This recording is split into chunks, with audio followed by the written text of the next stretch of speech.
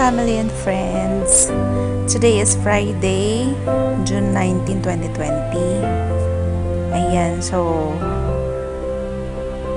ito yung experience ko ngayong araw na ito and masaya ako kasi nakauwi na naman ako sa bahay from work.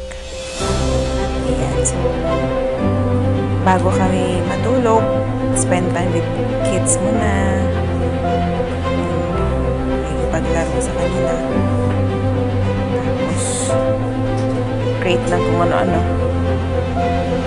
Masaya naman kami kasi habang lumalaki sila, nasubaybayan namin sila. Kahit busy sa trabaho, may time pa rin. May time pa rin to spend with them. So, yan.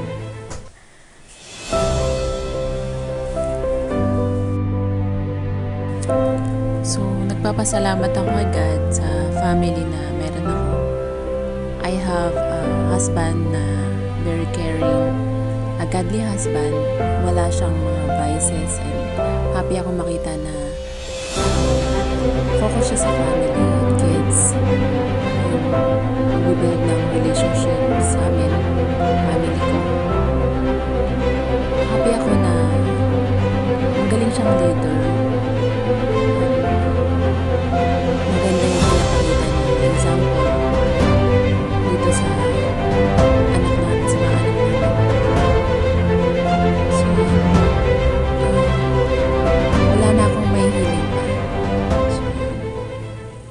So syempre, bago matulog, kung ano yung gala na ginawa namin,